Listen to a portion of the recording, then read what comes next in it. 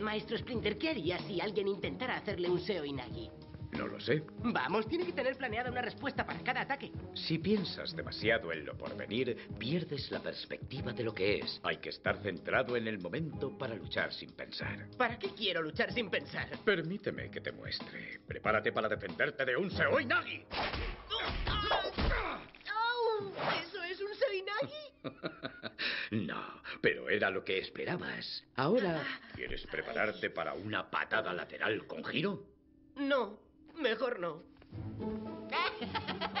¿Sabes lo que habría funcionado ahí? Voltereta hacia atrás.